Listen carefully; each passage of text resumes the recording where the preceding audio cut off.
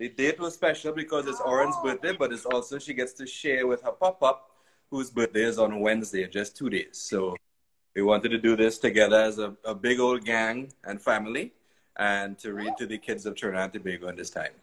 All right, so we're going to get started. Today we're reading from Chee Chee's Adventures, Book 5, Chee Chee Finds Home. You paying attention? Mm-hmm. And this is written by Carol Ottley Mitchell and illustrated by Anne Catherine Liu. Good one, Dan. Hi, so I'm Keith. I'm Kavan's dad and the grandfather to this wonderful girl who's celebrating her birthday today. Very special, as you notice, very active, but love them nevertheless. Happy birthday, Oren. Love you and have a wonderful time. Love you, dear. Good. Bye. So Chee Chee, the vervet monkey, lives on the beautiful island of St. Kitts. He and two of his brothers discovered a garden full of the fruit the monkeys loved. They felt the garden belonged to them and were always trying to get the fruit before the people who lived in the house could pick it. At first, they tried to wake up and pick the fruit before the humans did. This didn't work too well. Monkeys like to start their day at about 11 a.m., just in time for lunch. And so waking up early was very difficult. Then they tried to convince the family of humans that the mango tree was a pawpaw tree. The humans who lived in the house did not like the pawpaws, and the monkeys hoped that it could keep them away from the mango tree as well. They were discovered and ran away without pawpaws and without mangoes. The monkeys had been back had been back to the house since because they're embarrassed and upset. Every day, all day, she thought about the garden and the delicious fruits that grew there. His brothers tried to distract him. You are always thinking about that garden, Chee Chee. We have so many other fruits, flowers, and nuts to eat, said his older brother, Mo.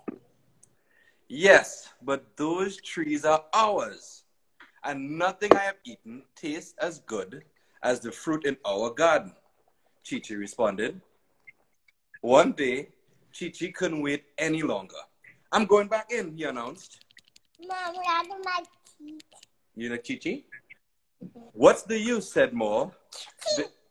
There'll be no fruit and there no we were there. They'll probably get a dog now to keep us away. Vervet monkeys and St. Kitts are not afraid of many things, but they are afraid of dogs. Chee Chee shrugged his shoulders. Well, if they have, I'll give up but I have to go back one last time. Are you guys coming? What if there's a dog? whimpered John John. Then we run, Chee Chee replied. Mo and John John decided to follow Chee Chee.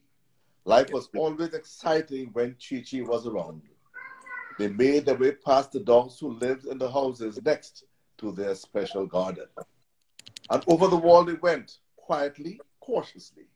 The monkeys sniffed out the air for a dog and listened carefully for a growl or bark, but they heard nothing. Chee Chee sighed, realizing he's been holding his breath. No dogs. Let's check the pawpaw tree then. The monkeys made their way to the pawpaw tree. As they passed under the mango tree, John John looked up on something, remembering how he had been hidden there before with his arms filled with pawpaw. As he looked, he spotted something yellow. All right, special reader. Chee Chee. Chee Chee, he cried, Stop! There are ripe mangoes in the tree. Chee Chee, Mama, and John John, John mm-hmm. could not believe their eyes. They checked each tree mangoes, plums, sour soursops, sour sups, and each tree had a few ripe fruit hanging from the branches. The monkeys picked them all, ate some, took some away, away to share with the rest of their family. As they left, Chi looked towards the house. He could not understand why the fruit had been left on the tree. He wondered if the family had gone on vacation or even better, if they no longer lived in the house. As he thought of this, he noticed someone at the windows. It was the boy they had seen the last time they were there. Mark, his mother had called him. The boy raised his hand and waved at the monkey. He left fruit for us, Chee-Chee said in amazement. I can't believe it. He left some fruit for us. The monkeys ran from the garden and headed home, excited about their good fortune. Every day that the monkeys visited the garden, there was fruit on the trees. Whenever they came, Mark was around. At first, he watched them through the window. After a day or two, he came outside and looked at the monkeys from the steps that led from his back door into the garden. Then one day, when the monkeys had picked their fruit and were about to leave the garden, Mark, who had been sitting on the step, stood up and walked towards the monkeys. Mo and John John panicked and ran away. Mark ran towards them, calling, Don't run, I wouldn't hurt you. Next reader, come on in, Dan. As he ran, Ma dropped one of the ripe soursops that he had been carrying. Mark stepped in the slippery fruit, Fell to the- fell to the ground. The monkeys ran to where Mark lay. His eyes were closed and he was not moving. Don't touch him, Chee-Chee said to his brothers. Wait here, I'll get help. Chee-Chee scampered up the back steps to the door of the house. Mark had left the door open. Chee-Chee stopped at the door, unsure about entering. He called out, Hello! To humans, his call sounded like a sharp cry, similar to a crow's caw. He waited, but there was no response. He stepped a few paces inside the house and called again. Call! Mark's mother came into the hallway that led to the door from outside. She spotted Chee Chee. These monkeys are too much now, she said. What are you doing inside? Shoo, shoo. Chee Chee ran out of the door and she followed, muttering, Mark keeps leaving this door open. When she got to the door, she leaned outside and called Mark. Of course, there was no answer. Mark was still lying in the garden. Mark, she called, it's time to get ready for school. Come on. There was still no answer. Chee Chee ran close to Mark's mother, chatted at her, and then ran towards where the boy lay. He hoped that Mark's mother would follow him, but she did not. He ran up to her again and then ran back to Mark. This time she followed. When she spotted her son lying on the ground, she broke into a run. Mark and John John had been standing guard over him. When they saw his mother running towards them, they scampered away. They sat on the wall that surrounded the house, watching. Chee Chee stood next to Mark's mother. Mark, oh my goodness, what's wrong? she exclaimed. Mark's mother picked him up gently. As she did so, he opened his eyes and he looked at her. Mark recovered from his fall. When he was better, his mother told him how Chee Chee had called her, and he never forgot how the monkey had helped him. Mark and Chee Chee became great friends, and they spent more and more time with each other.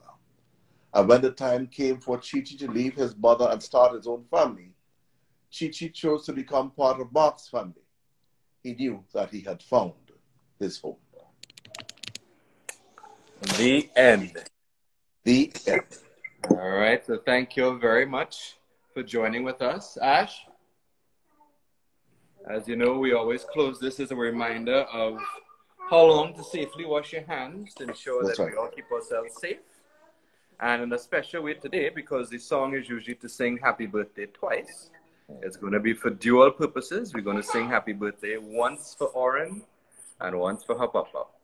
Wonderful. And more important for children, remember, wash your hands regularly, sing happy birthday twice, and do not touch your face, your nose, or your eyes as much as you can. Happy birthday, Oren. Love you. All right. Three, two, one. Happy, Happy birthday birthday to you. Happy Happy birthday birthday to you. Happy Happy birthday, dear Oren. Happy birthday to you. One more time. Happy birthday to you. Happy birthday to you. Happy birthday, dear Oren. Happy birthday, oh, pop up to everybody has a birthday. Blow it blow blow. It's. Blue. a trick Yay. handle. There you go. uh-huh. Bye. Bye. Oh, you better not. there you go. All right, everyone. Thank you all for joining us. Bye, bye, Sweet dreams to all, and see you soon. Happy birthday. Be Happy safe, birthday. everyone. Happy birthday. Happy birthday. Happy birthday. You're Happy not, birthday. you're not ready to go, Happy birthday. Happy birthday. Peace, yo. Peace, yo. Peace out. Peace out. Yeah, that's too funny.